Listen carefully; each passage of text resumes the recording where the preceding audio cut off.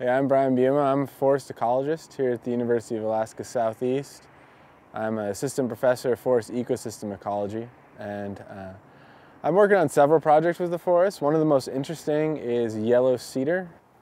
Yellow cedar is this commercially, um, culturally, and economically important uh, species found in southeast Alaska that's actually dying off really quickly due to climate change.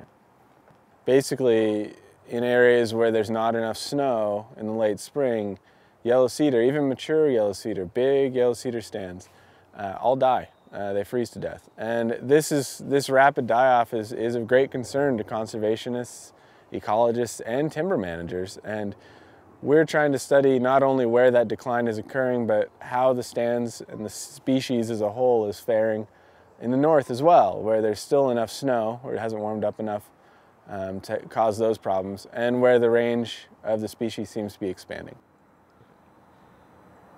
So there are about 15 small disjunct yellow cedar populations on the landscape around Juneau. And the crux of our project is going and, and delineating the boundary of those populations um, for a landscape scale study. Within each population, we're doing a a detailed stem mapping methodology where we're mapping the geographic location of every single species, both yellow cedar and other tree species in the stand, and then measuring associated environmental variables about each tree species.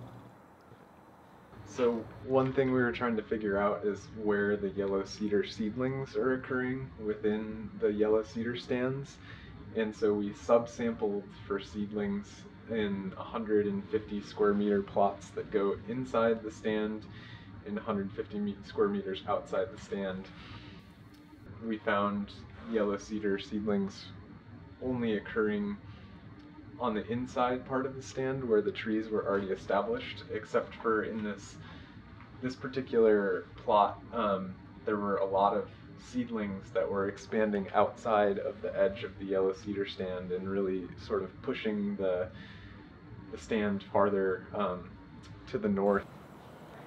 We're getting this initial data about uh, the geographic location of our stands, and we're hoping that in 10, 20, uh, even 50 years, people could come back and resurvey the stands and see how they've changed over time.